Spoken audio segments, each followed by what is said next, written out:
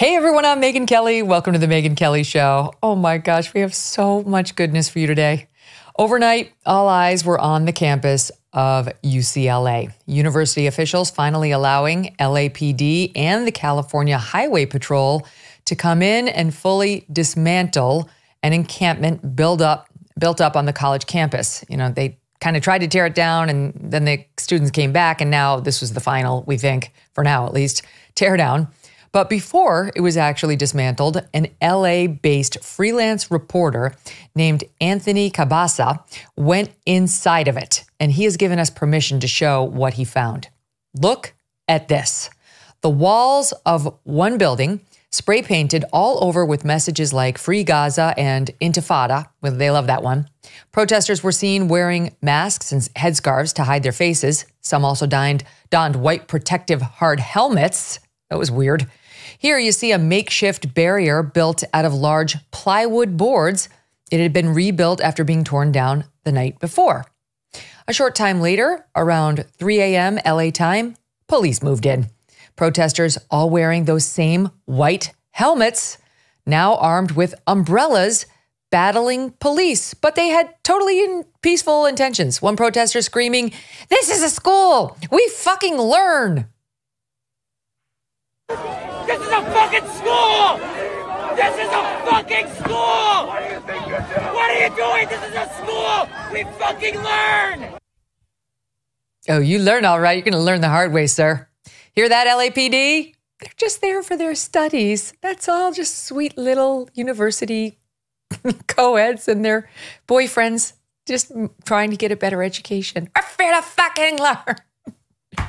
At one point, the police retreated from the encampment. This is video from ABC Local in LA. Their chopper overhead clearly shows the officer pulling back. But eventually, the LAPD did move back in, and again, freelancer Anthony Cabasa was on the scene. You see LAPD officers busting through the encampment. These students tried to resist. By 9 a.m. this morning, the encampment was completely torn down. However, a New York Times reporter on the scene heard the protesters chanting, we will rebound with all of our fucking learning. They're so sad they can't resume. What do you mean? I thought we're here to learn. Let's do the learning, honey. Rebound exactly for what? We're now asking. It's not going to go very well for you now that the cops are actually involved. That was the only thing that needed to happen here. It finally did happen. And now you're done. Okay? It's kind of fun watching you eat your own, but with all the like Jew hatred you've been spewing, it got a little less fun, and now you're done. Yesterday, a spokesperson for the encampment. Do you believe they have actual spokespeople? But I'm so glad that we met this woman. I've got a lot to say about a lot of these spokespeople. This particular gal let it be known that divestment is not really the end goal. She said the quiet part out loud. She wants to take down at least the whole university system.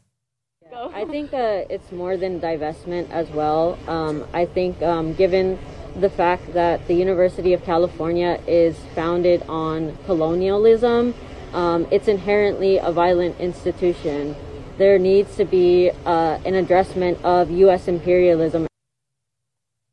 Ah, okay. We got a lot. We haven't got a lot that we have to get to, thanks to these great protesters drawing our attention to all the colonialism everywhere. Joining me now our friends from the Fifth Column podcast, Michael Moynihan, Kmele Foster, and Matt Welch. Go support them at wethefifth.substack.com. Don't miss a moment. Subscribe to this show on YouTube and follow me on Insta, Facebook, and X. Like many of you, I've been trying to eat healthier these days, and that's why I love good olive oil. Oh, it makes such a nice difference if it's really good. And by good, I mean fresh. Olive oil packs the most flavor and healthiest nutrients when it's fresh from the farm. That's the problem with supermarket olive oils. They're not fresh. They can sit on the shelf for months, growing stale. Now, I want to tell you about TJ Robinson, also known as the olive oil hunter. TJ's farm fresh oils have vibrant, grassy flavors. They're incredibly delicious on salad, veggies, pasta, meat, fish, you name it. And as an introduction to his fresh pressed olive oil club, TJ will send you a full size $39 bottle of one of the world's finest artisanal olive oils, fresh from the new harvest, for just $1 to help him cover shipping. There's no commitment to buy anything now or ever. So you can get your free $39 bottle for just $1 in shipping and taste the difference freshness makes. Go to harvestfreshnow.com. Harvestfreshnow.com for a free bottle and pay just $1 in shipping. Harvestfreshnow.com. Guys, great to see you again. There's you're the perfect guest for today. My God, have we got some goodness for you? Let's just start with that lady. Um, it's all the colonialism is the real problem. Everything's violent here, and therefore, mm. the real goal is just, I guess, the dismantling of structures, of structures like um, UCLA. What do you make of what's happening here? Who wants to do the first addressment? yeah. Do you want to do an addressment? There's so much for you. Every uh, everyone can go first at some point because I have equally good stuff coming after this one. Michael, can you do a land addressment first? I, w- I want to first tell the people that are applying to UCLA next year that you can get a, a spokesman gig at the UC, at UCLA by making up words like addressment, which isn't a word. You're at university. Get a fucking dictionary this is a I, I mean i think this is the great reveal right? I mean we all know this. We all know that these people don't know anything about gaza. You see these constant videos of like from what river to what sea they're like i don't know the mississippi to the lake michigan. It's like no no the jordan river to the mediterranean sea. They don't know anything about this stuff and that's obvious. What they are you know interested in is cosplaying is role playing is doing their their little two step and trying to pretend that they're 1968 revolutionaries um, the difference, by the way, a slight aside that I noticed is that in the 1968 protests on campus, uh, particularly Columbia, the professors weren't on their side. This is new that the professors are out there standing cheek to jowl with them. But yeah, I mean, when they say like UCLA system was built on colonialism, like that is fantastically incoherent. I mean, I suppose you're saying California or the world. I mean, everything's built on colonialism. And this is, of course, the way that they see Israel too, as a settler colonialist project. Again, phrases that are the stock phrases of people on the radical left these days. And it seems that most of them don't know what they mean. So it doesn't surprise me that when they're out there, like, they're not thinking about Gaza. I think the other thing, and I, this is the thing that you have to say, and you sound like some kind of crazy uh, John Birch reactionary. But honestly, their issue is with America. I mean, that's always at the end of it. It's America mm-hmm. supporting. Israel. It's what America does. It's America's founding. It's everything. And it's always back to being on the other side of the United States of America. You saw, I don't know if you saw this video of the horseshoe theory in action of two people across from each other at UCLA saying, fuck Biden. They were chanting oh, yeah, at each we'll other. Play, yeah. We have that. Actually, I mean, let's play it. Let's play it. That, that was a lovely moment of unity, actually. That, that one actually made me feel kind of like, you know, there's hope for the future. Hold on. Do we have it ready? Stand by. This is University of Alabama.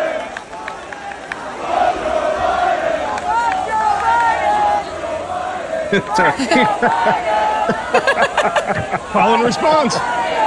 That's the other. Yeah, the country that's the other side that chimed place. in. Secondly, uh, this is video from Maven Navarro at the Crimson White student newspaper. The Crimson White, I guess, there's a crimson. I don't know how it works. that's you can get in trouble with a name like that in today's days. It's yeah. just the white. Oh, yeah.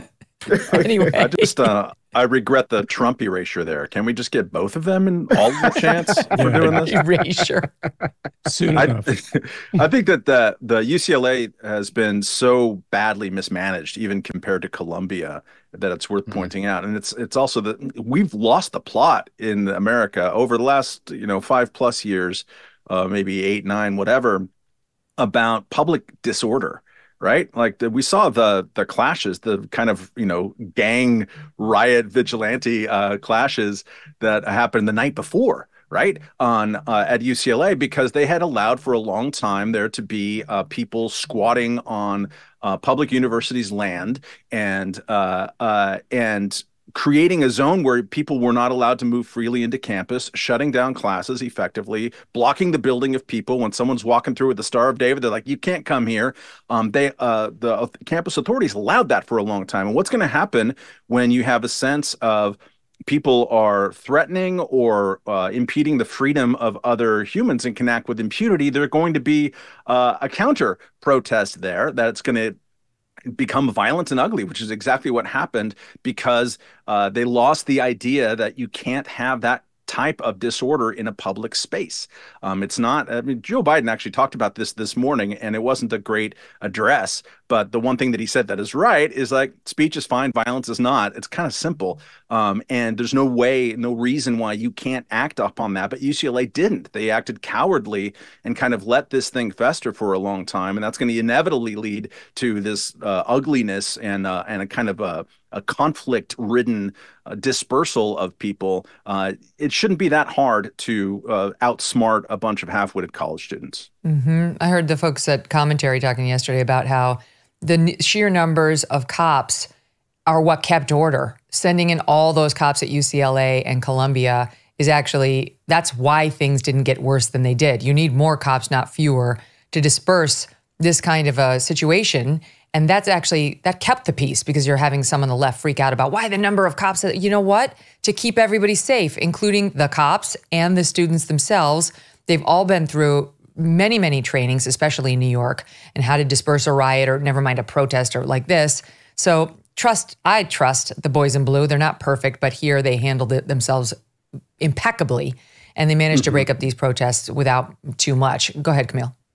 Yeah, I mean, if you don't want to see clouds of tear gas, a legion of rubber bullets uh, unleashed on these particular crowds, you're going to need to see a lot of cops individuals down there, in some cases, two and three cops dragging people off, loading them into buses. You're engaged in a political demonstration. You know that you're in breach of perhaps the law, certainly the policy of the university on the campus that you attend, to the extent you're a student.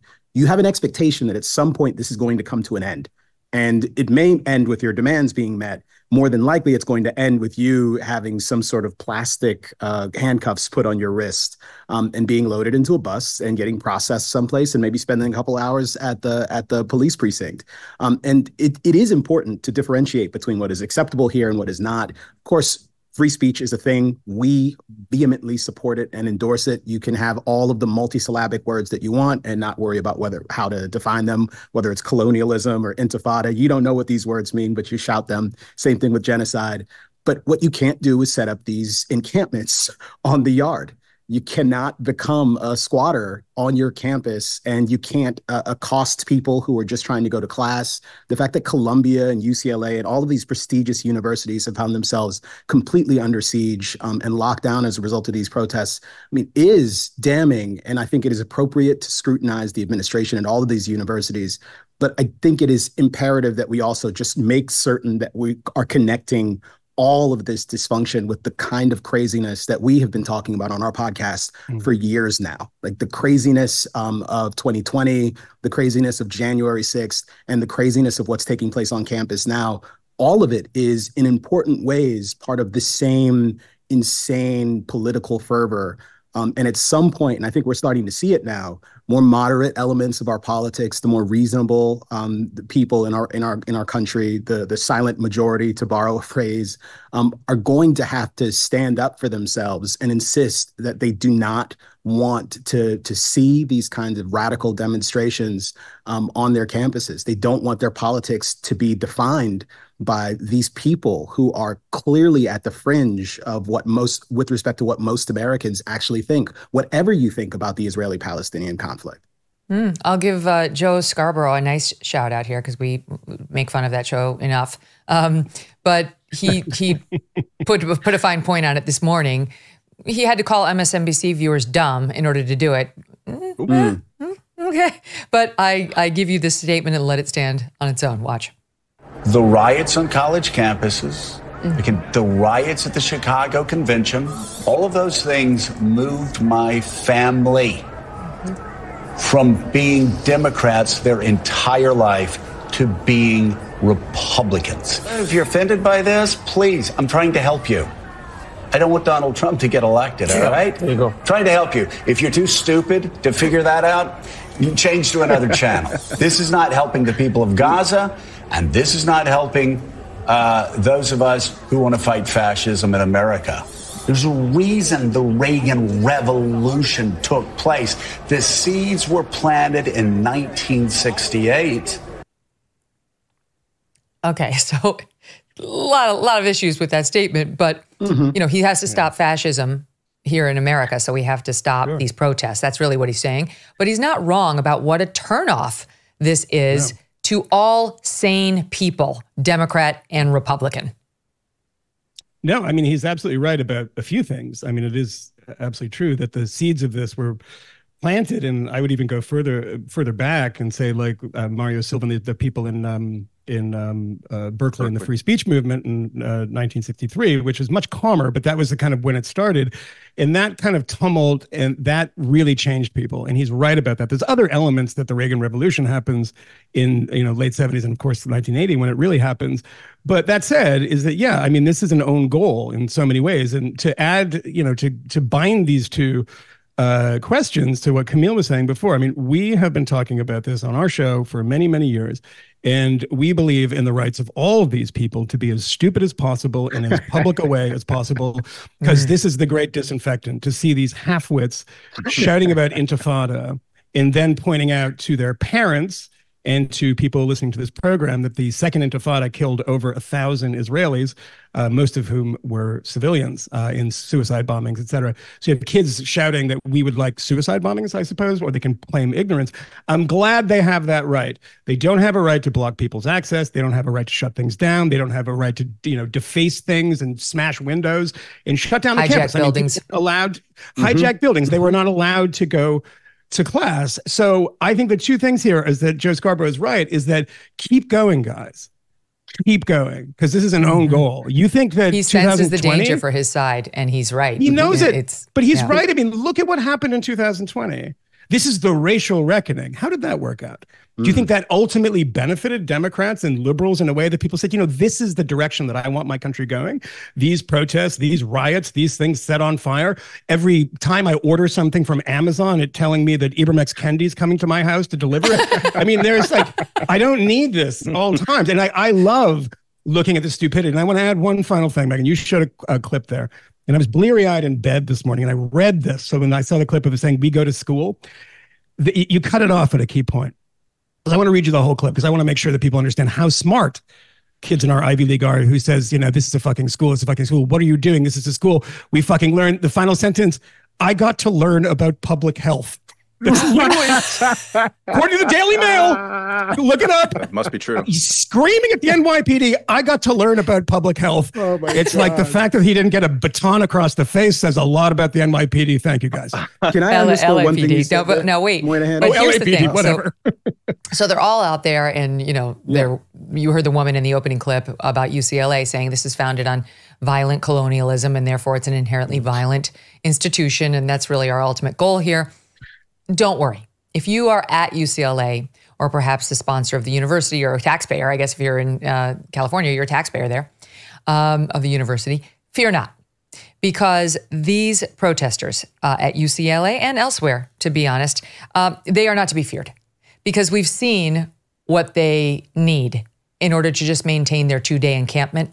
And you can't make it up. It's I've seen the full list now. I'd heard the highlights, but this is the full list. Okay, Fox's Bill Melugin got it and posted it on X. All right, here the sampling that we've seen already in the media. I'll read. Uh, they are demanding, now they've been dispersed, but were demanding as of 24 hours ago, vegan and gluten free food, super bright flashlights with strobe. Sure, I'm sure that cops would love to see that brought in. Rope and zip ties, no problem. I'm sure that's for completely upstanding learning purposes. Helmets, shields, and wood. Lotion. Oh, Um, ooh, okay. no sunscreen. tissues. absolutely a little you know dvd with with a player no, no sunscreen they're really music. They're feeling really really strongly about no sunscreen that's capital n capital o hmm. knee and elbow pads i refer you back to the lotion and above all no bananas no bananas whatsoever Again, the lotion. but you I missed that one morning. okay, so now hold on. Now this is where you get the fine print. I'm going to bring up my reading glasses to read the fine fine print. Oh, okay. Oh, here here's some goes. more. Gas masks and respirators. Sure, no problem. What could possibly go wrong? Um, utility gloves, especially for small hands. Lotion. EpiPens and non-steroid inhalers. I mean, obviously, this group is going to be riddled with all sorts of issues. is anyone surprised? Um, they, all, of course, no nuts because of all the allergies that these EpiPen and non-steroid inhaler people are suffering from. Rope, zip ties, I mentioned, and on it goes. So I feel like we're going to survive because it sounds like these people are too busy with their like rashes and allergic reactions mm-hmm. and whatever they're doing with the knee pads and the lotion to really attack and take down UCLA. But what do you guys think? Uh, the I mean, it best thing, sounds like they're going under into a tunnel for six months. I mean, they're, try- they're trying to they're trying to be Hamas. It's amazing. I don't think the Hamas guys are like, you know, no nuts. It's very tight quarters. You know, I don't think that's happening. But yeah, this is. Uh, I I will. Uh, Matt, I don't wanna Hamas cut Matt off. Russian? I defer- Uh, it- it's it's Triumph the insult comic dog. I apparently. are all one-hand accents. Okay, but Yeah. can we discuss the no bananas? Yes, we have no bananas because Yes. uh, like who's got such a severe banana okay but whatever if you will are so t- I will severely tell you allergic to bananas that you have to issue warnings to people not, not to then don't show up at the damn protest okay This is true. Uh, I, Number I say this Go ahead. with a 15 year old who has a severe hazelnut allergy. And if she was camping out for the Intifada, I suppose I would want them to not throw hazelnuts and Nutella at her face. But um, also, she might not do that. And she would have brought her EpiPen because even she's not a moron. Um, but uh, there is somebody like uh, we talked about this on, on an, episode, and on our comments, someone says, I'm the person who has the severe banana allergy, and I've gone into anaphylaxis or whatever it's called uh, because of it. Anaphylactic shock. Anaphylactic shock uh, in the past. So it does exist. Anaphylactic. um, but again, there's a there's a real great way to avoid uh, going into anaphylactic shock at Mhm. your uh, Hamas encampment outside of Sproul Hall, um, which is maybe don't do that. Um, and uh, and and and not for stop- nothing don't call attention to the fact that you're allergic to bananas because Yeah, what happened was- next was entirely predictable. And It was the now they're also claiming additional victimization because w- what happened was the an- the pro-Israel counter protesters came look waving bananas, Yeah. waving bananas um, all over. The over. security guy turns around. He, Yeah, he it's- takes a what blow is so he happening break here? into laughter. Yeah, it's great. It's great. The, the thing that we'll we learn about this war is something we always knew is that Jews are funny. So, you know, they're going to bring bananas to the protest because they're a funny people. After that much torture for so many years, they become very funny. So, as Iowahawk pointed out, like don't don't bring your uh, banana allergy to a fight against the people who invented comedy. That's Yeah, just exactly. it's not going to work. Yeah, that's right. The- the- protesters do do such a disservice to the people who they are ostensibly pro- pro- protesting in in support of the the fact that so many of these people would describe themselves of an, as anti-war while they are unfurling banners with the word intifada scrawled Yeah. in red on it Yeah, is pro- is just so insane to me I, It I depends on who's doing all the most of these- dying, Kmele. But I'm I'm convinced that most of these people don't actually know what it is that they are in support of. They certainly don't know what they're demonstrating for. Like we've seen that over and over again.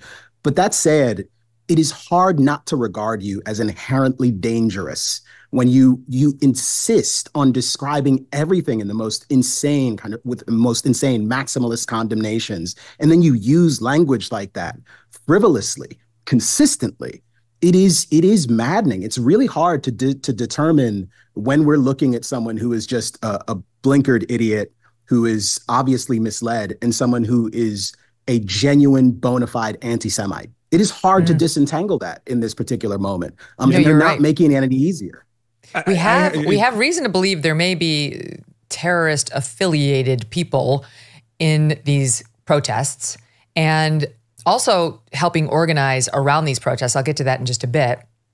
And then there are the morons who I don't want to leave just yet. Okay, I want to stay. Me, let's just stay on the morons for for another minute before we get to the truly nefarious ones. Um, we showed some of this video, but here is this woman who her name is unfortunately Johanna King Slutzky. And no. she's at, I know, it's sad. Sorry. That's what made her so bitter. I mean, that's you can see it. Like. I mean, it, could- it if your could be a last name great is name. Slutzky, oh, If you really run with it. you should change it.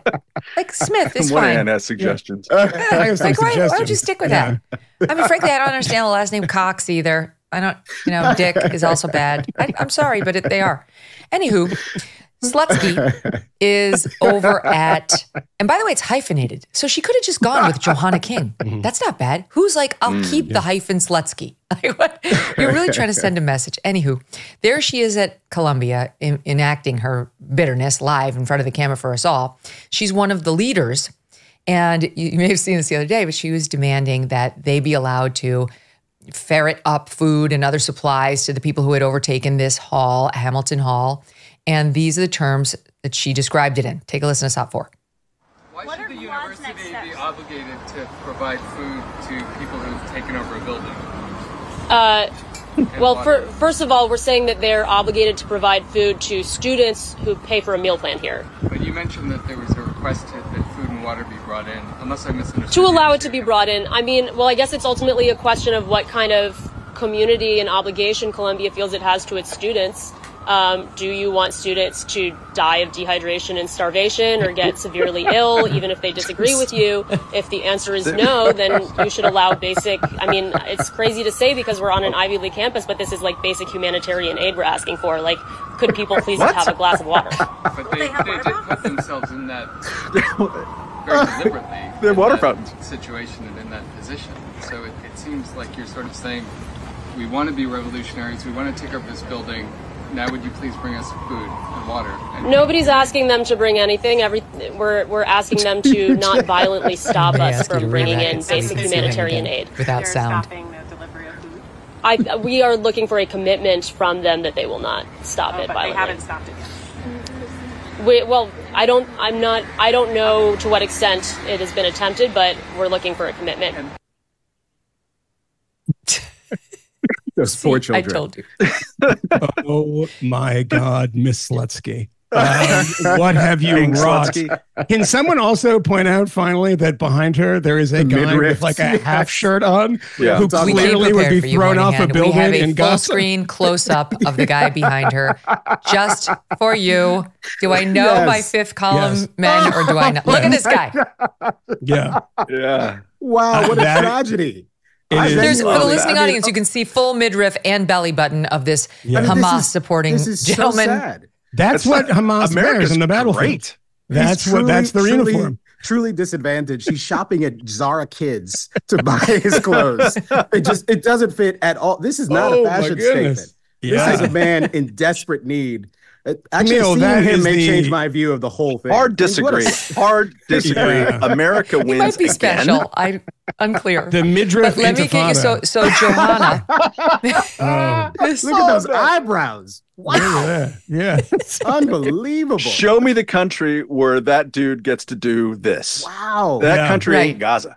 No, I, No, did, I did hear that Iran off a is offering scholarships to students who find They are. themselves expelled. I'm sure that they would welcome him with That would be open awesome. arms. Yes, they that's would. right. Open. I'm sure. They sure would. Arms. those arms of would, would, would cinch wrap around right him in a very around and tight off the embrace. building he'd go. No. Megyn, one of the one of the reasons why uh, that they asked for zip ties in UCLA. I don't know if you saw some of the footage of the students uh, trying to uh, put their plywood back up the other night. Um, they kind of didn't know how to do it. They were Yes, using right. zip ties to try to lash together plywood fortresses. Um, yeah, there's not there's not a Matt, lot of these uh, are construction. these are um, all like union guys. These are all like they're doing Sure, their yeah. PhDs.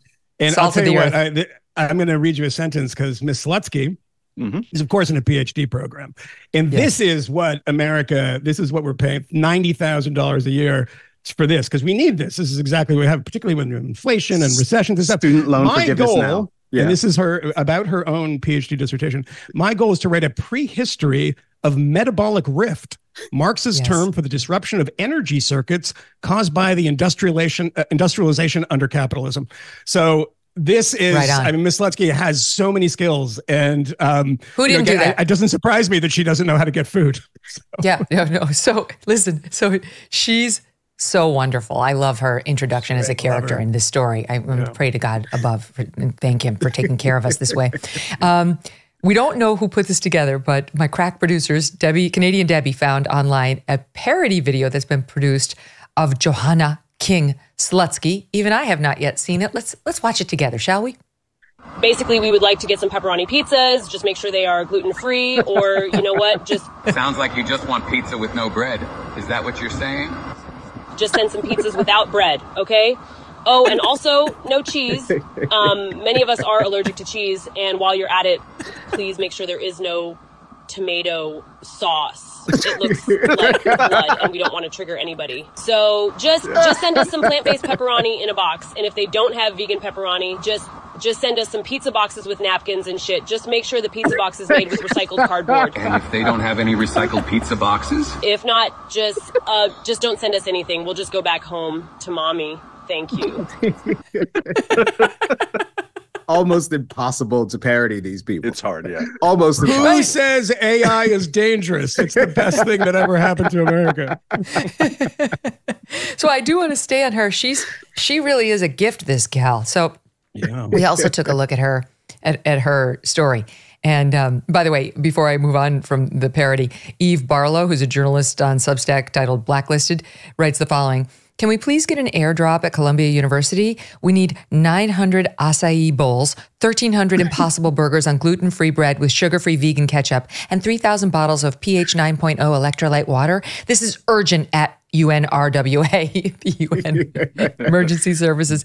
Exactly right.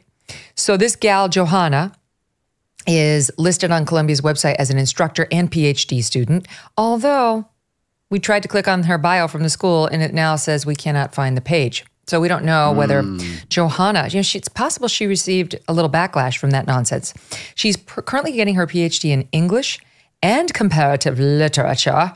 And picking up on what you were saying, Moynihan, her bio on Columbia's webs- website when it was posted said her research interests include romanticism, transcendentalism, Marxism, science and literature, environmental humanities, eco criticism, and 18th and 19th century poetics.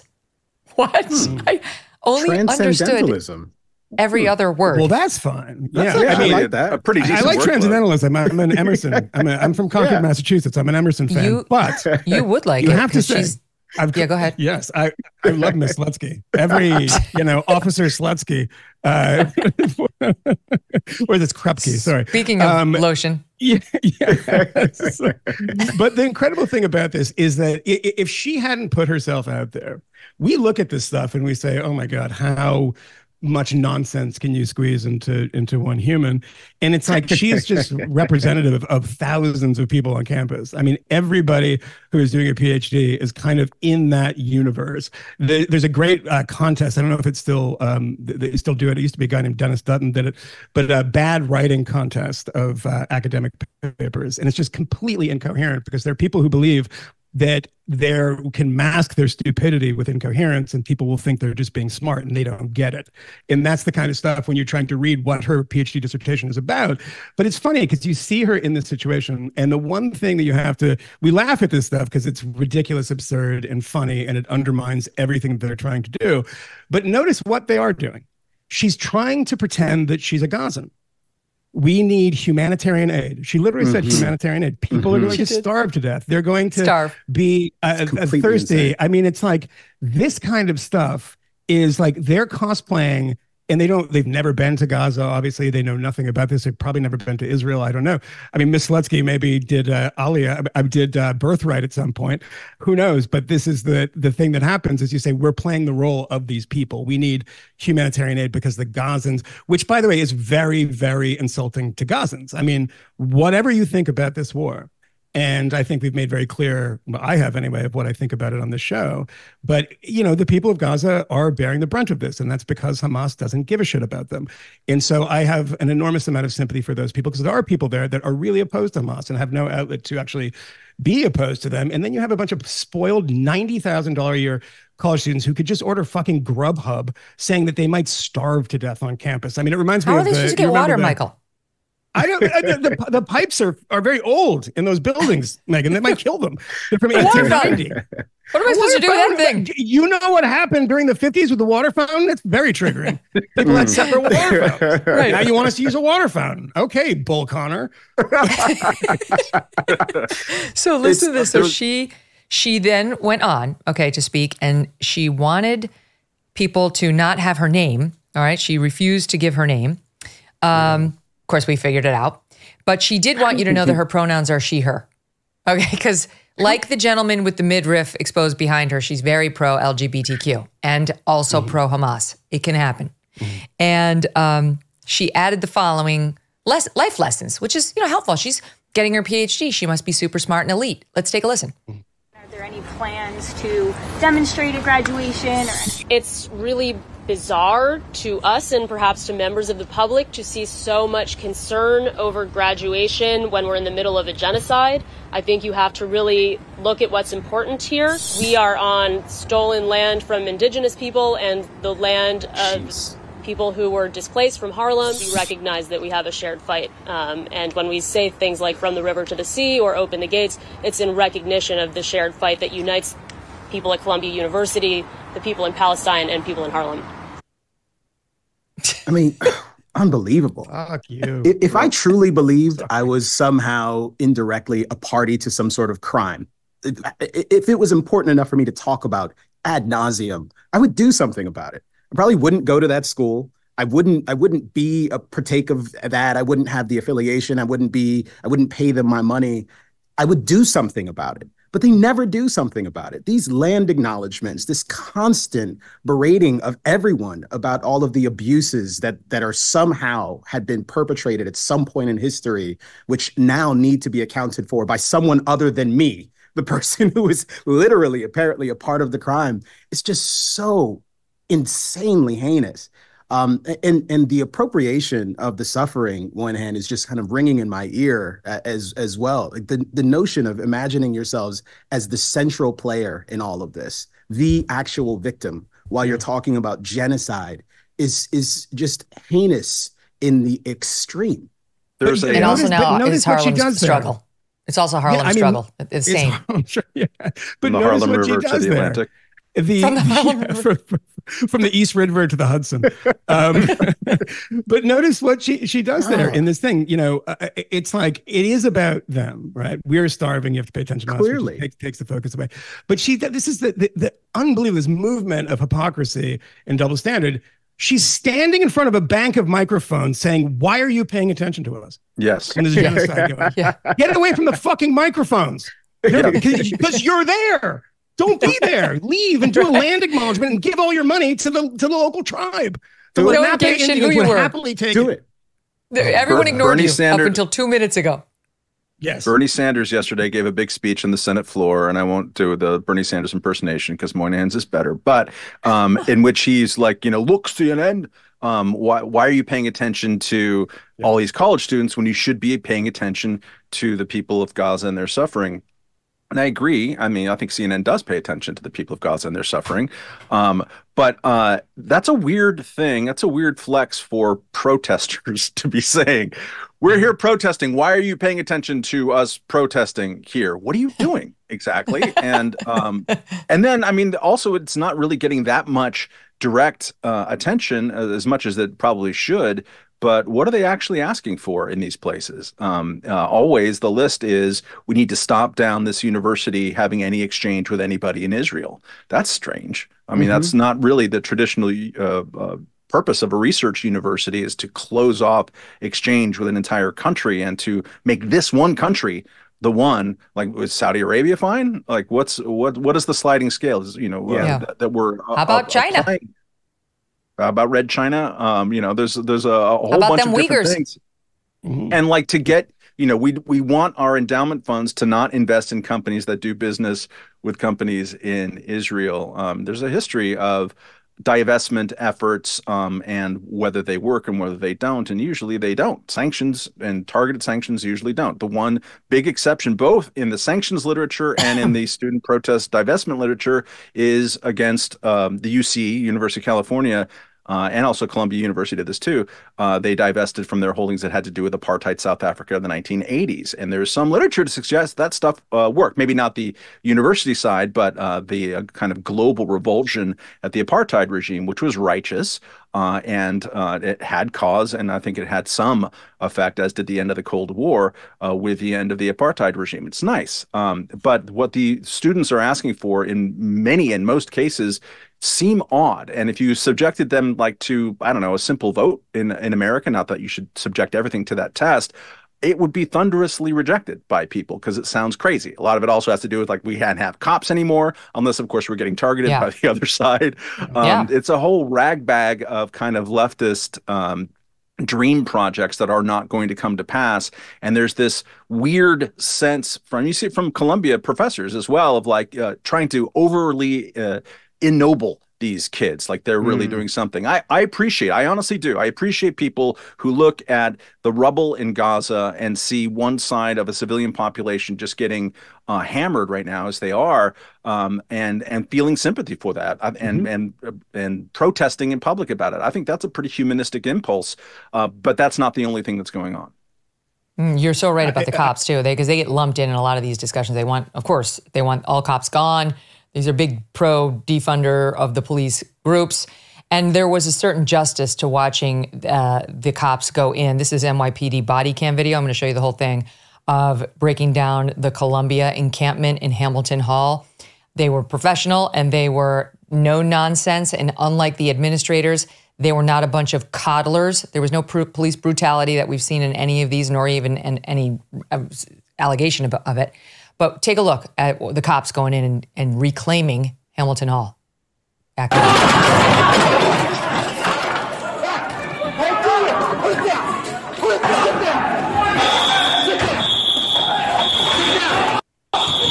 students are, are fighting, trying to. The students are holding up these big wooden shields that they've made. They're, they're not complying. Some are sitting quietly. Some are sitting yelling, Free Palestine. The cops are trying to, to disperse them and keep order.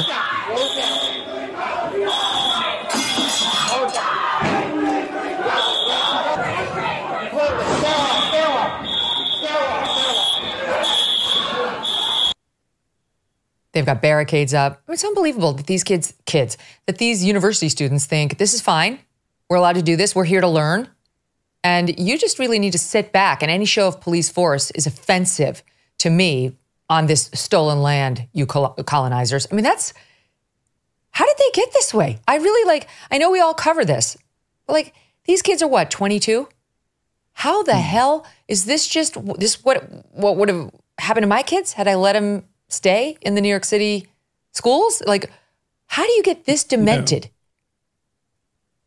I mean, how you get this demented is you know, evidenced by the number of Columbia professors that are standing uh, beside them and is sending letters to the administration saying you have to let these kids break the law. Um, you know, the amazing thing is that you know the the disconnect that these kids have from all of this stuff, the hypocrisy. I mean, we talk about queers for Palestine and gay people saying, you know, I support the Houthis and what they're doing in in you know the Middle East, et cetera. When the Houthis just sentenced, I think, eight or nine uh, men to stoning to death uh, for crimes of homosexuality. But they're also, you see this in the police camera vid- uh, videos. Uh, the, New- the New York Police Department is a majority minority police force. It is over 50% minority. Funny to say over 50% minority, but that's where we are in America. majority minority police force. They're working class. They do not make a ton of money. They put themselves in danger every day. And, you know, these are the kids that are coddled. $90,000 a year, worried about getting their meal plan, and they're talking about Marx. I mean, this has always been a, a, a, thing that has been funny to look at. I mean, there was a famous joke about the 68 convention of the, you know, the, the student getting on his knees and saying, long live the dictatorship of the proletariat, and the police officer cracking him on the head with his baton and saying, I am the proletariat. Mm-hmm. There is something to that because mm. if you see these spoiled kids, that is the juxtaposition that most people see. They see cops who have a really tough job. And you know what? You don't get a special special dispensation when you're breaking the law because you have politics that you think are right.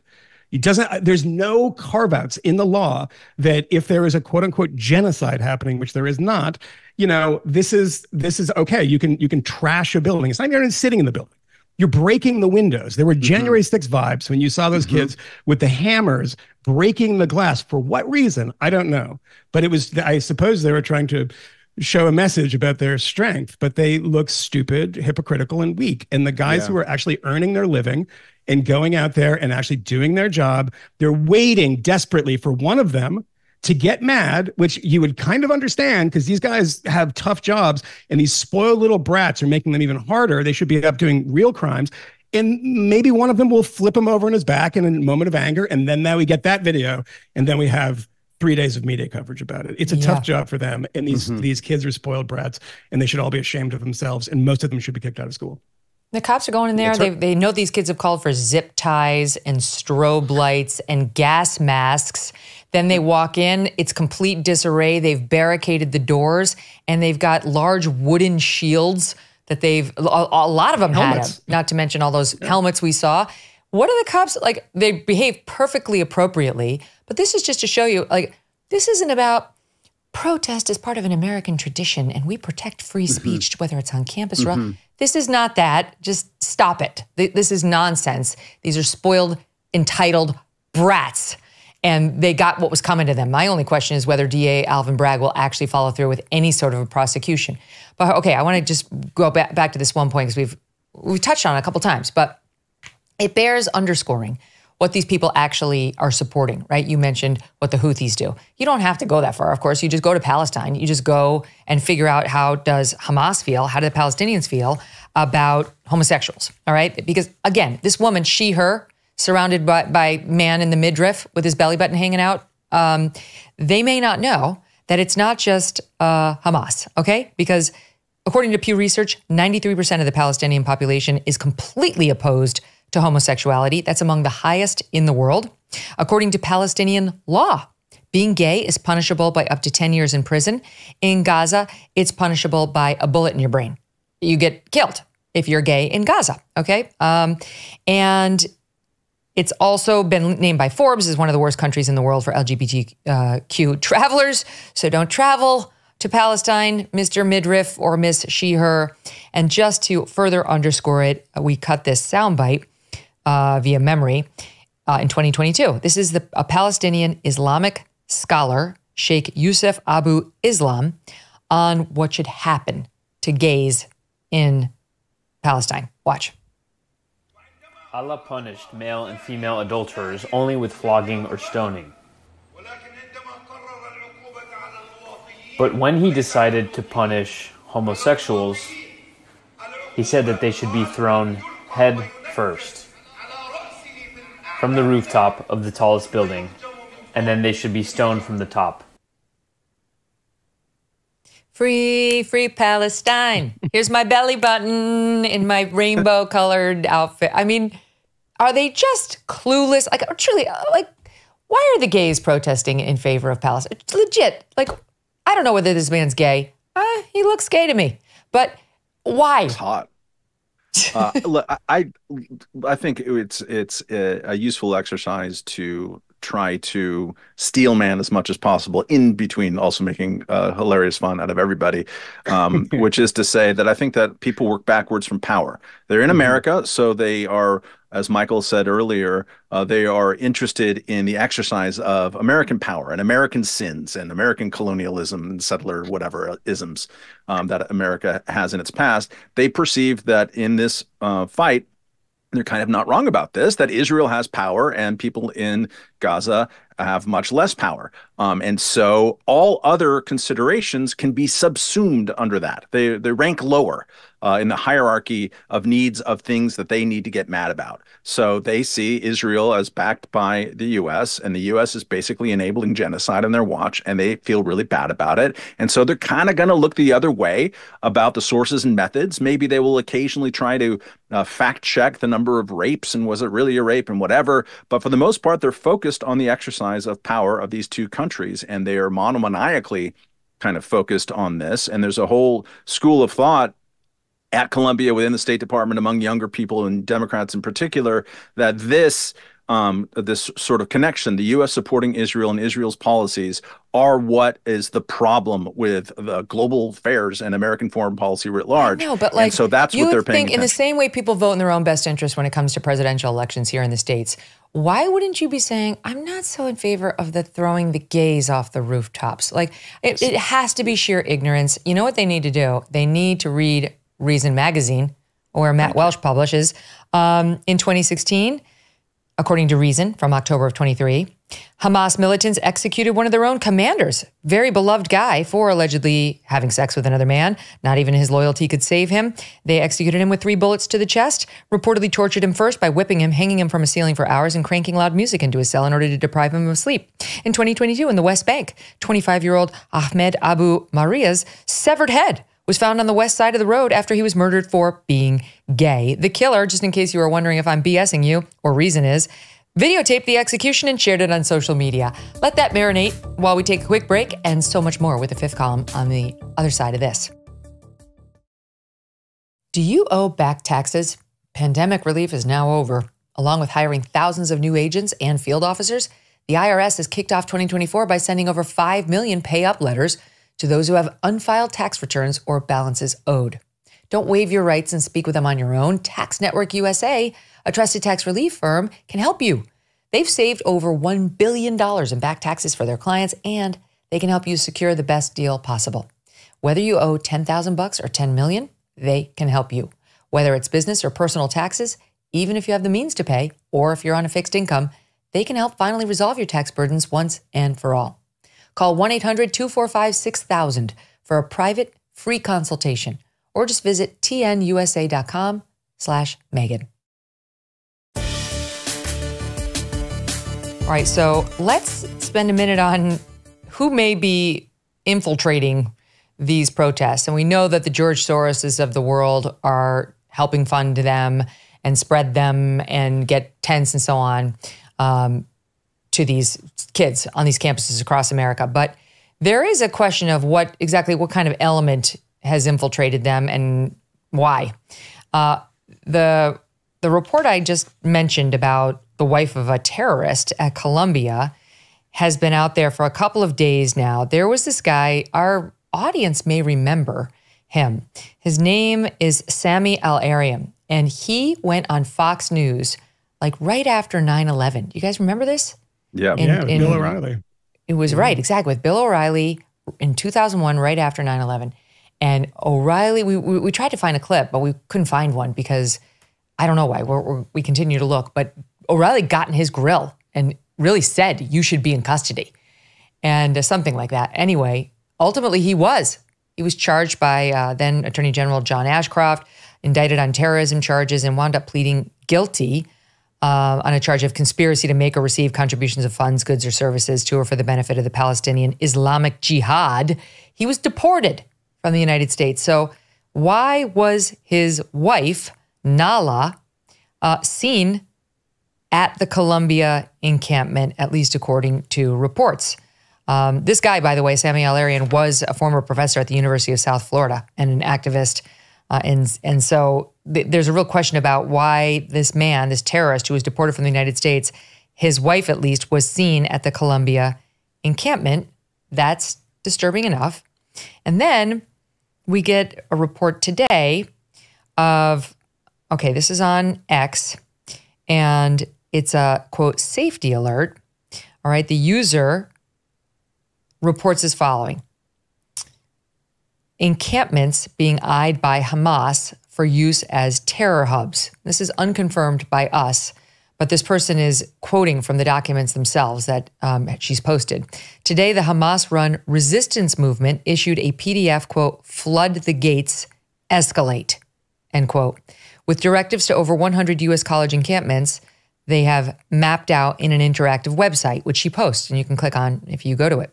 These foreign accounts previously published atrocities on 10 7 as victories and daily attacks around Gaza against Israelis by their quote, comrades in Hamas and Hezbollah. So the posters are very sympathetic and pro Hamas.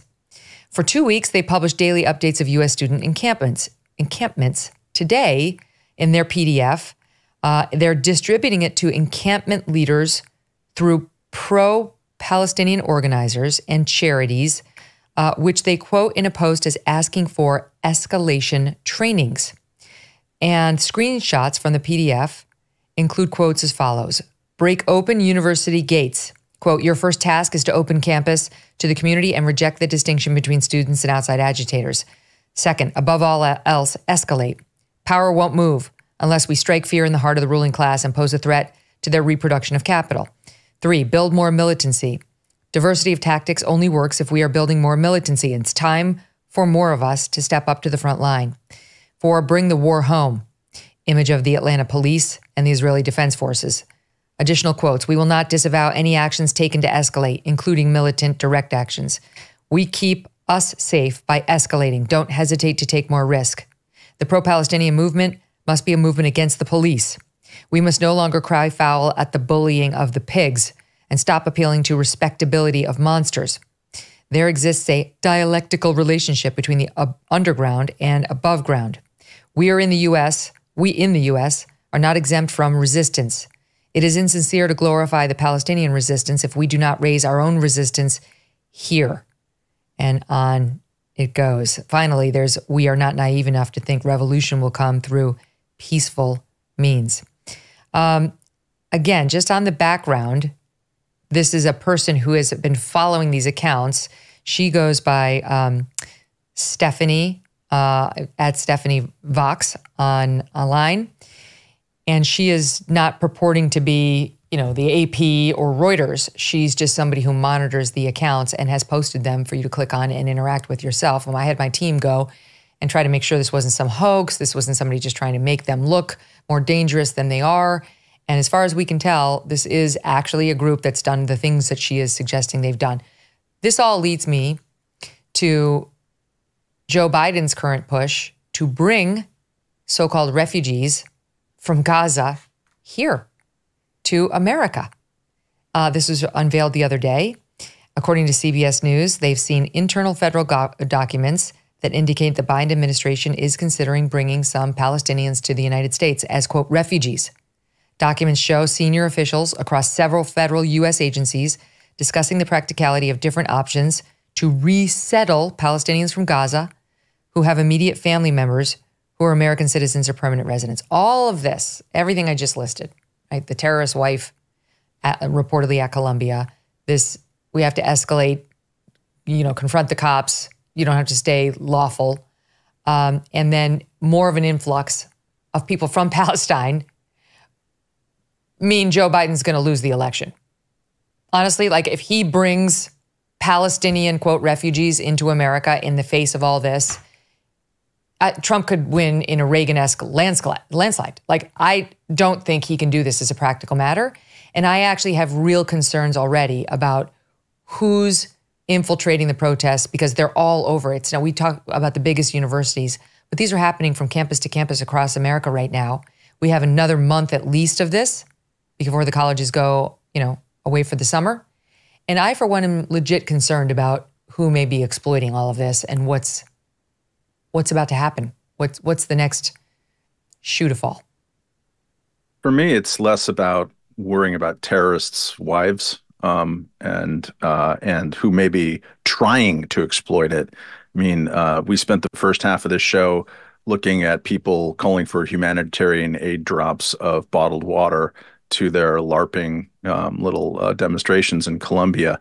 Uh, I don't think that you see at these demonstrations hardcore organized terrorists. I wouldn't be surprised if there's a lot of people trying. Um, that there's some elements out there trying, um, but I, have also uh, have had material worry since 9/11 about that word actually material. Right, I, a lot of people have been prosecuted for providing quote unquote material support for terrorist organizations. Sometimes that includes lawyers, dirtbag lawyers, absolutely dirtbag lawyers in particular. Um, but I that's not terrorism. Um, and I think that you have to be able to separate out those threats and have a little bit of confidence. Another thing to have confidence in, or not confidence, but to be aware of, let's say, is that FBI is all over this stuff. Um, counterterrorism lives in New York City in particular but in general, uh, the FBI spends a lot of time um, infiltrating those types of groups and actually hatching plots that maybe people aren't really all that into, anyways. There's been a lot of entrapment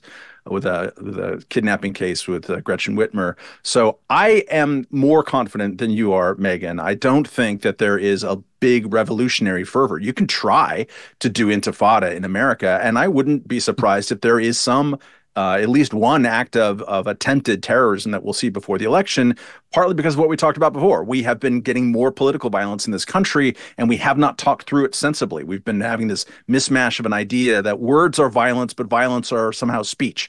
Um, mm-hmm. It's like, what are you even talking about? It doesn't make any sense. If we focus on the actual violence as opposed to the incendiary rhetoric, and we focus on actual planning uh, instead of you know PDF files that may or may not have a lot of direct influence on what's happening on the campuses. I have some faith that we will be okay. Um, mm-hmm. uh, I think there will be big attempts to disrupt the Chicago Democratic Convention, and also all of those uh, attempts will be have to take place five miles from the actual convention because uh, we've all covered the conventions in the past, and they basically create a militarized perimeter uh, around the thing. So um, yes, I, I hope they cross right into the south side of Chicago. See how that goes. Um, I mean, oh, some will emanate from there. I wouldn't be surprised. Seriously, if you, I mean, like I've been there and I've interviewed folks there, and it is the, to the point where one gang controls one neighborhood and another opposing gang controls the very next neighboring block, and you're mm-hmm. not allowed to cross over. Try doing it as an Upper West Side white liberal lady wearing a keffiyeh. mm. I'll look forward to watching that. Good luck, sister. Mm. Uh, you know, I have to say that, and this is the kind of the the bit where you have three essential uh, civil libertarians on talking about this stuff. But you know, I don't worry about terrorism developing in that, those camps. I mean, the exploitation of it is exactly what they want, and it's the best thing for them to do. I mean, and and by them, I mean that coalition of psychopaths that um, support Hamas, and we've seen this. And you can go out and look at this, and there's a lot of this stuff out there, particularly at MEMRI, who you quoted earlier the Middle East Media Research Institute. Um, they translate stuff. And, you know, Iranian leaders, uh, Palestinian leaders from the PA and Hamas and the West Bank and Gaza um, across the region saying, you know, keep it up, students. We're, you know, and it, you know, that buoys them. And that's the best they can hope for, right? Is that people who are in the process of negotiating in Egypt with Israel about hostage releases, seeing this stuff and getting the impression that the entire world is on their side and they don't really have to give an inch because the world is turning against Israel yeah. the longer they wait. And that is the best thing for them. I mean, I don't worry about the terrorist infiltration or whatever. I think that's not, I don't think that's going to happen. I think that there are extremism is what I have to worry about and just a sort of broad ideological way is that the center has shifted so much that Overton window has moved. You have a thing like there's a group called People's Forum that is, you know, in some small way uh, funded one by one of the the invest that one of the um, uh, philanthropy arms of Goldman Sachs, I think, and they're like yeah, very, yeah. very, very radical. You can go on their website and find. I'm not joking about this. I, I recommend people do it. Find uh, lecturers that are pro North Korea. That's how far extreme left these people are. Um, mm-hmm. You saw that with Ramsey Clark's organization, International Answer. they are pro North Korea too. They plan a lot of these protests. You see those yellow and black signs. It's always international answer. So I don't worry about terrorism. I worry about the fact that you have these young, impressionable, dopey kids who have left mom in Indiana and now in the big city, um, you know, from being the smartest kid in their class to now being this is what the this is what the radical kids in my campus think. And that has shifted so much that you see people talking about this stuff and not even blinking. And one final thing, you were talking about anti-Semitism before and about what which part of this stuff is anti-Semitic. It's hard to disentangle a lot of that stuff. I don't think most of it is. But these are kids that have been radicalized in a way that they are literally standing beside anti-Semitic organizations mm-hmm. in which the charter of the organization, Hamas in this case, is eliminationist in their anti-Semitism. It is spelled out in their charter that is the the destruction of Israel and the death of all the people in that region would not be a problem for them, as Golda Meir famously said, if Israel put down its weapons tomorrow, we'd have peace. I mean, if, if Palestinians put down their weapons tomorrow, we'd have peace. If Israel did, we'd have genocide. Uh, that's the people they're sidling up next to. And I think that's the biggest worry. Yeah, Here's I mean, these, these Kmele. Here demonstrators. is just a, Oh. a video. I just want to show you Yeah. of it is cosplaying for sure, but to your point of like now they're embracing these people who do not want peace at all and who commis- committed a slaughter just a couple of months ago of all these students, these anti-Israel protesters at UCLA, getting down on their hands and knees and engaging in the Muslim prayer. Okay, I mean, these are the same people who want the Ten Commandments torn down from any building in the United States, but it's fine to go, okay, look at them. Look at this. Guarantee you 98% of these people are not Muslim. They, ha- they don't know the first thing about Islam, but over and over they go down on their hands and knees. We've seen this at the other universities too. I think we saw the same similar video out of Columbia.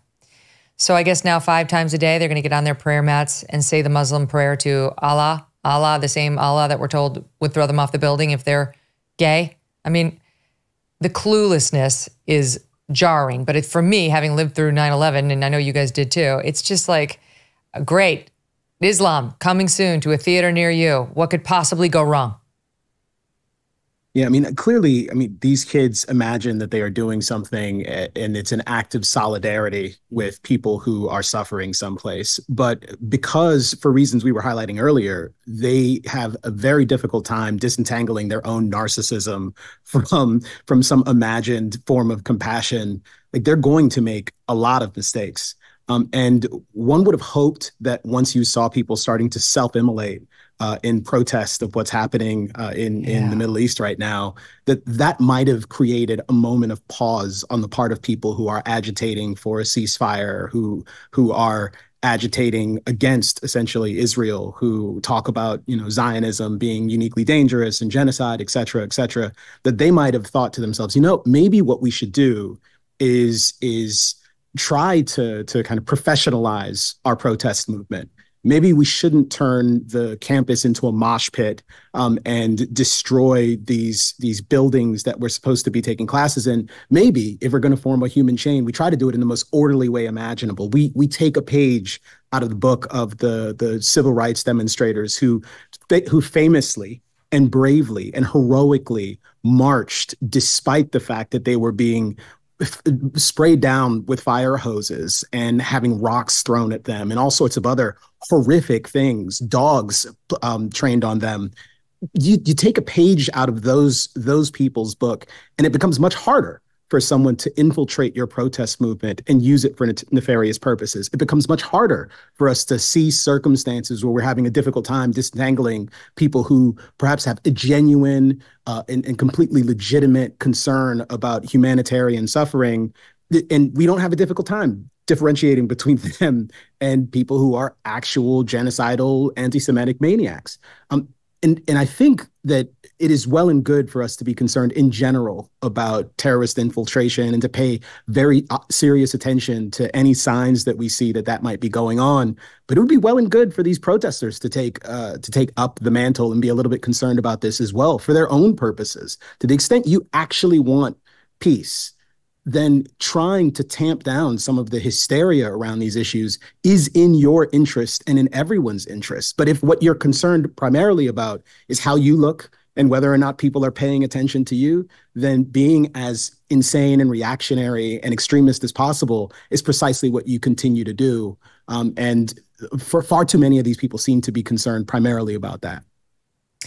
President Trump was out there yesterday. There was no trial in session for him. He has Wednesdays off, um, right? And uh, he got out there and made a comment about this. Let's bring the Palestinians here to America. That'd be a great idea. I mean, like Egypt won't take them, Jordan won't take them, but we should take them. We should take them because I guess we have a whole lot more in common with the Palestinians than the Egyptians or the Jordanians do. I'm telling you, if, Pres- if President Biden brings a bunch of Palestinian, quote, refugees into America, he will lose in a landslide. That will happen. Here's President Trump remarking on it yesterday. In addition to the millions and millions of people invading our country from the border, Crooked Joe is now reportedly planning this is wonderful news for you people in Wisconsin to bring massive numbers of Gazans from the Middle East all live to your American towns, your towns and villages. your towns and villages will now be accepting people from Gaza Joe Biden seems to determine to he's just determined to create the conditions for an October 7th style attack right here in America. It's going to happen. Jeez. He had to laugh. he had to laugh while doing it because it's such an absurd proposal given the state of the world right now and such a huge gift to Donald Trump in this campaign. It is. I mean, I think that last bit there that there's going to be an October 7th in America is is ludicrous for a variety of reasons. I mean, particularly if it comes, going to have refugees that come and establish a Hamas camp and then I don't know cross the border. Well, I mean, look at what's happening on the southern border. Like, there's a, there is a real worry no, no. about who's coming in. So so that this is the thing about this is that I think that I don't think it's going to happen, and I'd be happily come on the show again after the election and take my lashes if it does. But I mean, the I mean, the difficulty of actually making that happen, vetting people, the process of making it happen. It seems that everything that happens from the Biden administration is this calibration of how much can I give to the people in Michigan and the left wing of my party that I don't want them to break off or vote for, you know, somebody. I mean, they're not going to vote for Bobby Kennedy, who's very mm-hmm. pro-Israel, but you know, I need to keep that coalition together. So it's these little things. I mean, so I was surprised when he said the other day, the administration said the other day that words like intifada uh, was a pretty strong statement actually about using the word intifada.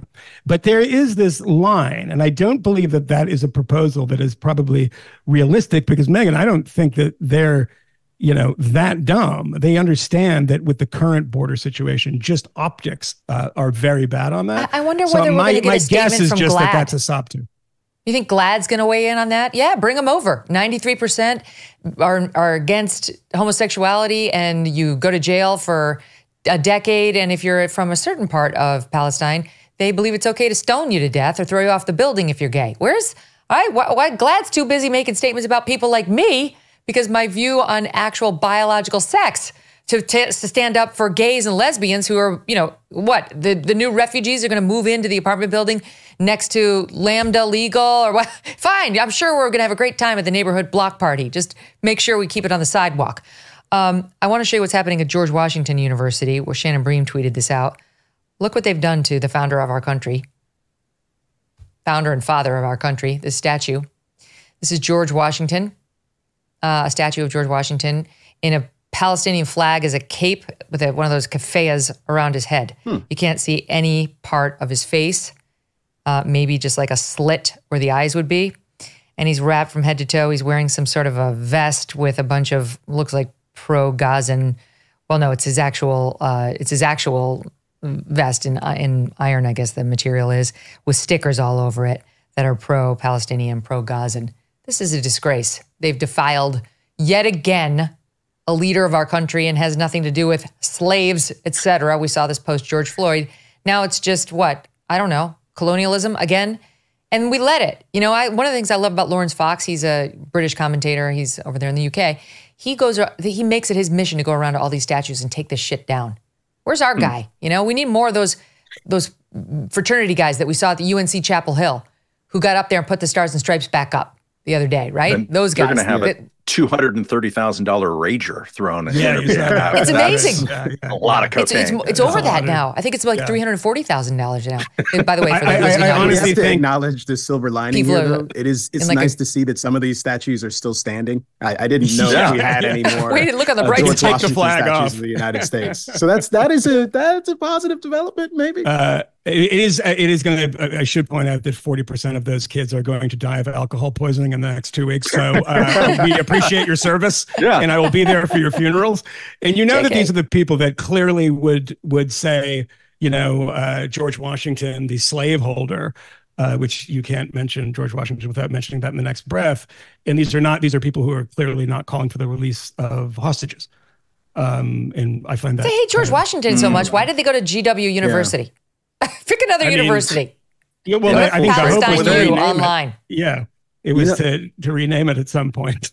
you know, Megyn, as as someone from a country where I imagine lots of people actually have uh, retrograde beliefs. At least my my ancestry is bound up with Jamaica. Um, I'm, I'm I'm glad that that GLAAD isn't agitating against the prospect of bringing you know more horrible West Indian people to the United States. Um, in, in, That's in what the I'm same, doing. In the same sense, in the same sense, I, I don't think they ought to be harassing you for talking about, say, biological sex, for example. But I do think you're underscoring something really profoundly important, like the the actual refugee crisis in Gaza and the circumstances there with respect to the, the regional dynamics, the fact that no one in the region, these various Muslim countries, um, where or predominantly Muslim countries, where there is a great deal of agitation on behalf of the Palestinians with respect to their cause and against Israel, that they're not interested in taking people from this particular area. Um, even that is- temporarily, even yeah, temporarily is- during a war. That is Yeah. profoundly, profoundly distressing. And it is certainly a, a severe hardship for the people of Gaza. And I mean, honestly, like they they are they are in fact victims in many, many respects. I mean, Hamas is not a legitimate government by any stretch of the imagination. They are a criminal organization who happen to pretend to be a government from time to time and who are victimizing the citizens of Gaza.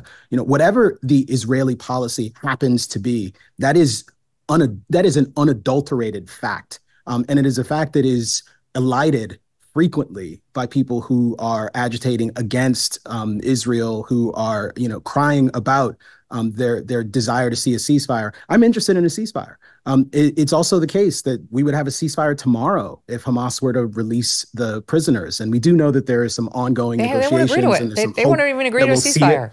Um, They, but I mean, don't want a just- ceasefire. It's so obvious. Yeah, I, I'm sick of that that that whole discussion about them and the ceasefire. Like, whatever. We we know you don't want it. We, like, I feel strongly if we were in Israel's position, we'd be doing exactly what they'd be doing. We would be annihilating them More. so they couldn't unleash another 10-7. And every civilian death is on Hamas's hands. The blood of those civilians is on Hamas's hands. I'm I'm sorry, but that's just the way I I see it. But wait, I do want to spend a moment on these guys at UNC Chapel Hill. So it turns out they're from uh, Pi Kappa Phi. They are the guys who hoisted the Stars and Stripes back up after the Palestinian protesters hoisted the Palestinian flag. Somebody started a GoFundMe. It's now, as of 8 a.m., it's probably higher now. It was at $340,000 to throw them a rager. It's at 421,000 now to throw them a rager. And here is the the pitch whoever started this GoFundMe made to get all these donations. I'm going to read it. Commie losers across the country have invaded college campuses to make oh, dumb demands of weak university administrators. But amidst the chaos, the screaming, the anti Semitism, the hatred of faith and flag, stood a platoon hmm. of American heroes, armored in vineyard vines in Patagonia. Fueled by Zyn and White Claws, these triumphant Bohemians protected Old Glory from the unwashed Marxist horde, laughing at their shrieks and wails and shielding the stars and stripes from Soviet missiles. These boys, no, men of the UNC Chapel Hill Pi Kappa Phi, gave the best to America, and now they deserve the best.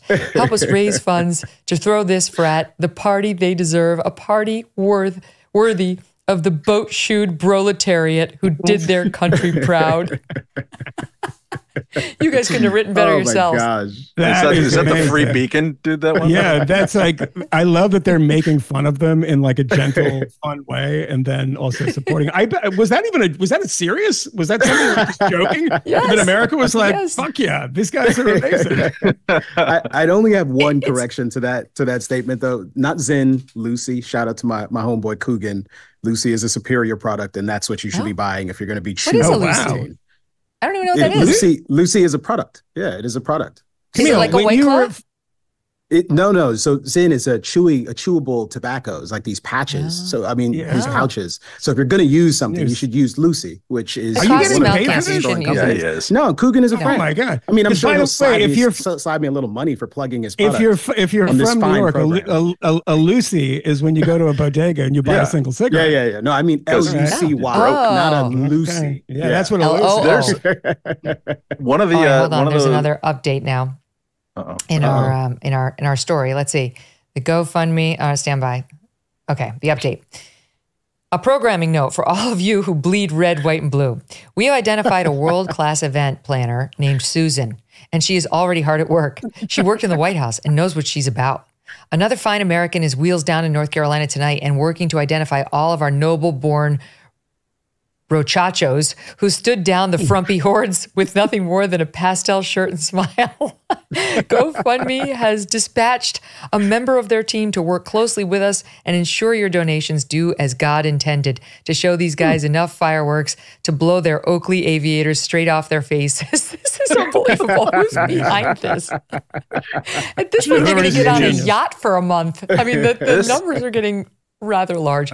That's This you know whole what, though? podcast today is is just like makes makes me want to break out into USA chants from the midriff intifada on down. Like it's only in America, people. This is what we do. It, it gives you hope. It just gives you hope. I love seeing those guys put the stars and stripes back up. I really do want to stick them on the George Washington statue. We should dispatch them to all the college campuses in their vineyards. Yeah, they don't have money for it. Yeah. And AmeriCorps. And Yes. Megyn, to your your fear about shithole countries, um, one of those guys I think is uh, the child of uh, Venezuelan immigrants, right? He Yeah. came from a shitty socialist country, and he came here and he said, "Look, uh, we immigrated here. This is a great country. Uh, people from my family, and this always happens to first generation immigrants, are in the military and they defend the flag and take it seriously, and so do I. Um, that's what happens when immigrants come here." More often than not. I mean, uh, one of the Palestinian refugee that came to this country was Justin Amash's, uh, I think, father. Um, both his father and mother are uh, refugees. One came from Palestine, and Hmm. one came elsewhere. Palestinian Christians. I'm glad that we have Justin Amash in this country.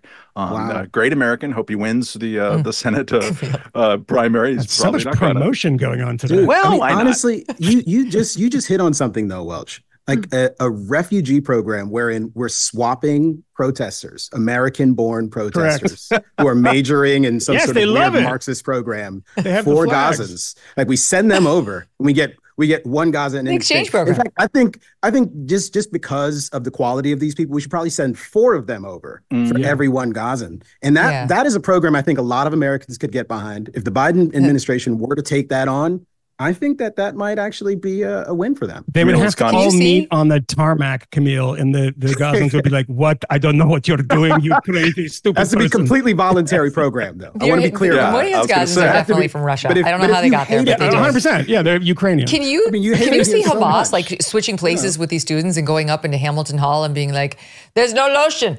Where's the Yeah. lotion? I took it off." Where I is think the a of ladder those- to the roof? We those need to throw some people off. a lot of those people, Ladder. a lot of those people would have an instant conversion. I mean, they would get here and say, "You know what?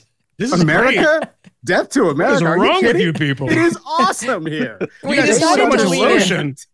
Yeah, instead of instead of sending you home with the cops, we decided to lean in. I'd like you to meet Ahmad and, and then ten of his buddies. Just they're going to spend the night with you. We'll see you in the morning, maybe. We'll find out. All right, stand by. We're going to take a quick break. We're going to come back and we will switch to some other topics because there's more goodness coming your way. More with the fifth column straight ahead. Do you ever find yourself craving the culinary delights of your favorite local restaurant, but time and energy constraints make it seem out of reach? Or maybe you resort to fast food or pantry meals to save time and money. If so, you're not alone. Exploring the local food scene can be costly and time consuming. But what if I told you there's a solution? I want to tell you about Cook Unity, the first chef to you service delivering locally sourced meals from award winning chefs every week. And it's more affordable than other delivery options. Visit cookunity.com slash MK or enter code MK before checkout for 50% off your first week. With Cook Unity, you can enjoy a chef quality dining experience right at home without the hassle of cooking. Unlike other meal services, Cook Unity is a chef collective bringing exciting culinary talent straight to your table. Experience chef quality meals delivered right to your door. Go to cookunity.com slash MK or enter code MK before checkout for 50% off your first week. That's 50% off your first week by using code MK or going to cookunity.com slash MK. Can your savings weather an economic storm? Think about what you've put away for the future. Inflation can render cash worthless. Real estate can crash like it did in 08. Economies built on a mountain of debt can fall like a house of cards. There are very few physical assets that actually that you can invest in that can stand the test of time. But gold has withstood as a valued form of money. It's why many people are flocking to it right now, and it's why Birch Gold is busier than ever. Through a little known tax loophole, Birch Gold lets you convert a retirement account into a tax sheltered IRA in physical gold. And the best part, it does not cost you one cent out of pocket. To learn more, text MK to 989898 and claim your free info kit on gold. Again, can your IRA or 401k weather an economic storm? If not, consider looking into Birch Gold. Text MK to 989898 and explore securing your savings today. Update for you from the Donald Trump trial, where uh, they are now cross examining the lawyer for Stormy Daniels and for Karen McDougal, the playmate with whom Trump allegedly had an affair, both of whom allegedly tried to get money from him so as not to disclose this. Their lawyer is named Keith Davidson. He came right before Avenatti for Stormy. And what the defense lawyer, this guy Emil Bove, is trying to do with Mr. Davidson now, because it's time for cross examination, this guy on direct talked about how he dealt with Michael Cohen. They struck a deal. He, wanted money um, in particular for Karen McDougal, $150,000, so she wouldn't go public with the story, and the National Enquirer paid it. Now it's cross examination time, and Trump's lawyer is making him look like an absolute scumbag. That appears to be the cross examination uh, approach, strategy. Uh, this from the New York Times. He establishes Davidson has never met Trump. Mr. Bove continues to try to create distance between these deals and Donald Trump. Trump's defense is in part I don't know what the hell Michael Cohen was doing. You know, like he, he was out there, and my people, like they're out there doing what they're going to do. Michael Cohen took out a home equity loan to pay off Stormy Daniels. It wasn't at my hand. Um, okay.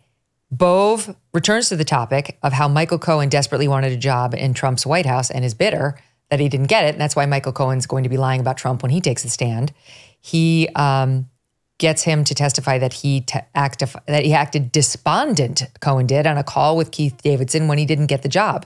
Davidson asked about the call says quote I thought Cohen was going to kill himself. He thought he was going to be the attorney general. Oh. oh, my god. Hmm. Oh, anything's my possible. god. I mean, you know those crazies who say like if Trump wins I'm moving to Canada? Like if Michael Cohen had become attorney general, I might have considered it. Like I'd have to at least look at where else we It'd could be go. funny though. The coats. Come on. oh, I mean, truly, like, okay. Bo is now trying to paint Davidson as a serial extorter, asking for money in various situations and being mindful not to cross the line into actual extortion. Bo is successfully digging up unsavory episodes from Davidson's past to cast him as shady. Uh, a former client of his leaked info that Lindsay Lohan was in rehab, extorted Charlie Sheen. Uh, this guy, Davidson, has resorted multiple times now to I don't recall, I don't recall, I don't recall.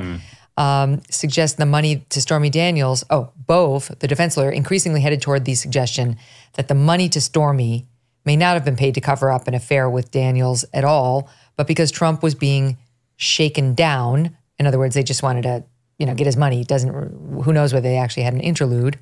The guy says, "Well, I have I've had over fifteen hundred clients in my career. This is, I guess, why he remembers nothing."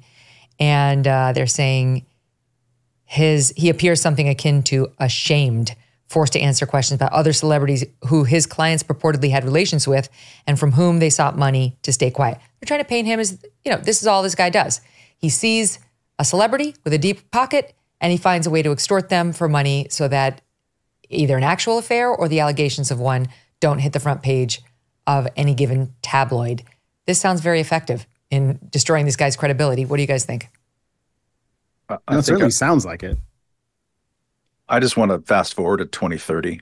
Like this, there will be a time when we're not talking about this crap, and like our politics will move to a different place. Maybe it'll be worse, but it's I'm I have fatigue over even knowing Michael Cohen and a universe of where politics is is all. I get it; it's entertaining, but like hush money and stuff. And why are we having a trial about this? And why are we uh, insisting that the presidential candidate is as crazy as he is? Um, has to have his ass in a courtroom seat for a whole big swath of his campaign, or else he'll be in contempt. Uh, the whole thing is just a, it's very dispiriting. As You know, Meg, Megyn, every single time we talk about the Trump legal case, I want to sort of turn the tables and start asking you questions. I mean, there are two things that I'm wondering about right now. The first is like Michael Avenatti, who I know has called into MSNBC at least once to be to do like jail jailbird um, legal correspondent via collect call, which is like kind of hilarious and really sad at the same time because I don't want anybody to be in jail, to be totally honest. Um, I is he going to be called? Is the first question. The second question is, what is your sensibility about the case now that we're into it a little bit? Are you thinking like the odds of conviction have they risen? Have they fallen? Is it too early to say? If this were a fair jury, you know, actually interested in the evidence and were they properly instructed on the law, it would be Trump's easily. He, he would be acquitted. Mm-hmm. But I do think, I said this the other day, in the same way um, Marcia Clark lost the OJ trial once once she didn't move the venue and got the jury she got. Like that's she lost then. This this mm-hmm. trial too has already been lost by the fact that it's mm. being tried in Manhattan and they've got the jury they do. I mean, maybe there's somebody on there who will hold out. I, that could happen, but the overwhelming odds are that that didn't happen. That they all have um, the proper New York City liberal elite credentials. That they can't stand Donald Trump and that they can't wait to find guilty. And frankly, even if they are fair, they're going to be given legal instructions when they get the jury instructions that are so awful and not consistent with the actual state of the law that the you know there are horses that are being led to, right to the water and they will drink but it's wrong i mean this judge it's a long story but the short of it is the jury instructions should say if you find that the type of money paid to stormy daniels is the type of money that would only ever be used to advance somebody's electoral chances, then you may proceed to finding whether Trump actually paid that money. That's what they mm. it should read. And for them yeah. to say, do we think that the hush money is only ever paid to advance an election? Oh wait, no. Men have been paying that for, since the dawn of time. Okay, so now what should we do, Judge? It the next line should say, then acquit. Then acquit. Because there's no underlying crime that would have revived the dead misdemeanor of falsifying business records. But what's what it's actually going to say is, do you think he conspired to try to win the election with Stormy Daniels or her representatives? And only the only way they're going to say no to that is if they really believe he and Michael Cohen didn't talk at all. And I don't think they're going to reach that. So I think he's losing.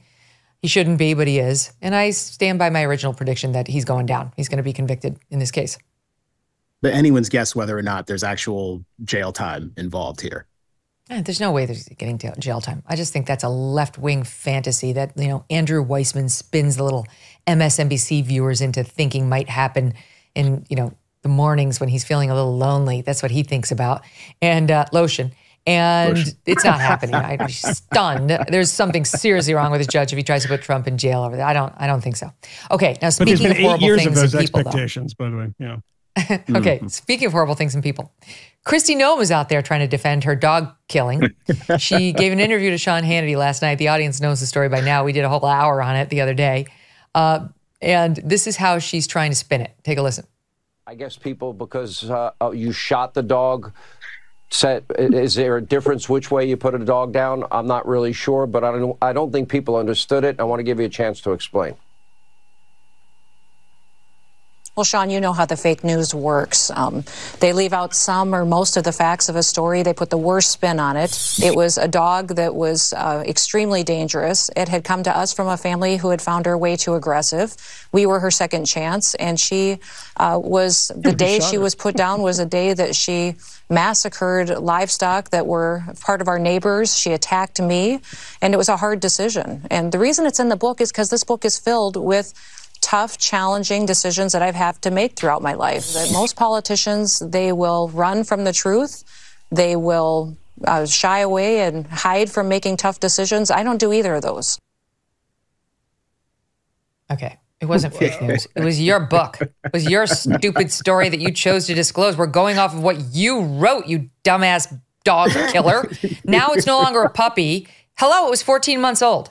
Uh, there's no getting around how old the dog was. Now she calls it a dog, but it was a, it was a puppy, and she says it, it was massacring the, the chickens. It's, it was a massacre. It's a dog. It's a dog.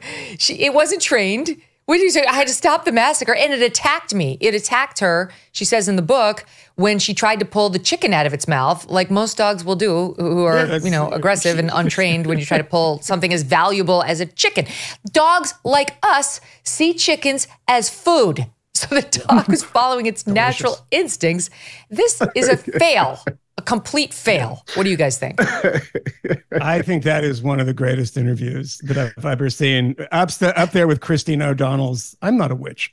Because uh, when you think about what she's saying, she's like, you know, the fake news, sometimes as a politician, you have to make tough decisions. I'm like, you just you shot a dog. Like that's what you Yeah, you're a saying. puppy. It's not like, oh my god, Russia has invaded Ukraine. What do we do? It's like you just shot a dog. And you literally you usually use the word massacre because it ate chickens because it was hungry. It was It's a genocide.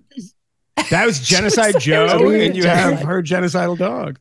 She, I mean, the, so there are a couple of things about this story that are that are a bit difficult. I mean, one, she also shot a goat, which, from what I understand, because I read the story about this, the book isn't out yet, so I haven't seen it.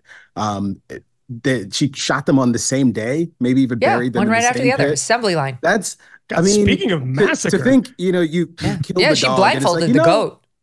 I'm already into Just it. kidding. No, she Let me, did. let me kill the goat.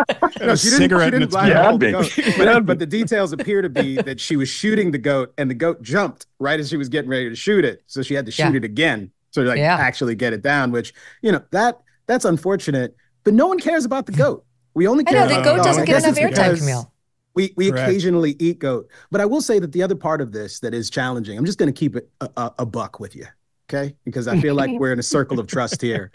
If she were a less, if she were harder to look at, it Mhm. would be easier to condemn her Yes. because, you know, killing dogs is bad. But I mean, I mean, Me- Megyn, if us? you if you saw our us? fifth column Not feeling that one. No. you would realize that Kmele has a problem that he Yeah. is obsessed with her. Yes, and I'm he's not like- obsessed. Yeah, I am you- not he loves obsessed. Chrissy I could, I yes, this is not Uh, true. uh, uh, he Chrissy Noem is is like like. I could send you a message that it was said like you know she just denied the Holocaust, No. and you would send back a picture of her like you know, but like she's pretty attractive. It's you could be next Corey. Lewandowski. No, There could be an I- I am- opening there for you, Kmele. this is, this is political analysis, pure, pure and simple. I am I am Yeah. looking at this the way a voter would, and Yeah. most voters are going to look at her and say, you know, Most? did she- Yeah. maybe the dog had No. it coming. How Yeah. short was the No, dog's skirt? they are Like, there are The- questions the that they're going to voters ask are that they against wouldn't her. ask. Yeah, Red They wouldn't states ask these and blue states. Cory Bush. I'm just Correct. And now, after the Megyn is fact, she wants to build the dog into Cujo. But I'm sorry, we read the original account, at least as oh, Yes. reprinted by The Guardian, which is quoting from her book. And that's not how she styled it. She said it killed some Yeah. chickens and it was distracting her on the hunt. And by the way, she was like, it was it was aggressive and it was mean. Like you said, oh, and it was really hard for me. She talked in her book about how I hated that dog. I hate it. Yeah. Oh, was it so hard for you? Like, it's murdered not it. hard at all. Like you said, it was like And a serial kids- killing. The kids have came it. home. The kids came home on the bus and are like, "Hey, where is uh, where's Yeah. Pepper or whatever the Yes. dog's Yeah. name? Popcorn." I shot it in the face Cricket. like a real leader. he's he's dead. Come over here and help me bury it. That, we're gonna do this before dinner. I do want to we're interrupt eating goat tonight. I wanted Yeah. to tell you that if a woman was attractive enough, I would shoot a dog for her, but she doesn't qualify. I'm just gonna tell you. You're gonna be really, Let you're gonna you. be like a Estonian model, and I'll shoot a dog for you. My, yeah, I, we had the funniest talk. My mom, my mom put our dog Bess down. She was ten. She was a shepherd, and Bess had lost control of her sphincter, and that was the end of mm. Bess. And ever since, we have been suggesting we've been calling my mom the hillside strangler because the dog. Oh, we feel the dog wasn't yet ready to go. Yeah. oh no. And by the way, another dog had been put down, but that dog had bitten 11 people, including our neighbor, in the face. He did a flying leap off of our, our staircase in Did your mom face. do it herself? So Like, no, she but she brought. like I'm just Christina? saying there was like a pattern, and we joked like when she married my stepfather, we would warn him like, "Be careful about the sphincter because you, next thing you know." as soon as you lose it- I was talking to Yeah. my mom about how horrible the Kristi Noem story was, and you know, my mom was like, "Well, you know, well," I'm like, oh, "Hillside, gotta do what you gotta do. My conspiracy theory, um, which I'm going to spread uh, uh, throughout the land, is that uh, Kristi Noem had a, a ghostwriter, and, and his name was JD Vance, because now JD Vance is a candidate for vice president, and she's not. Yeah. clever. I like that.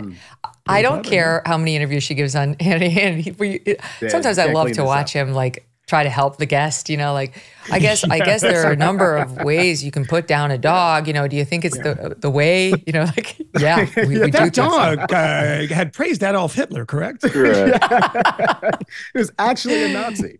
It was giving Do material you guys have support any to thoughts on who Trump's likely VP choice is?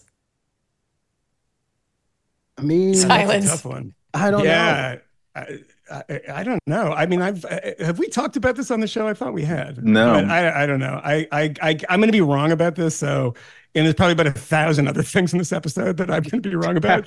you know, like there's going to be a Gaza encampment in the middle of Chicago in six months or something. so I will, I will withhold uh, saying the JD. Vance, All right. Well, let me give uh, you let me give you uh, two choices. Um, I think we can safely rule out Kristi. No, uh, JD Vance or Tim Scott. Yeah. Hmm. I don't know. Can we rule out Christine? I mean, the, the Yes. reality is that Donald Yes. Trump, Yes. Donald Trump seems to pick his lawyers from a lookbook. Like Yeah. I, I'm not She sure. that ruined. he Trump do is too smart to pick her now. candidate. He's too smart. There's other He's hotties in the world.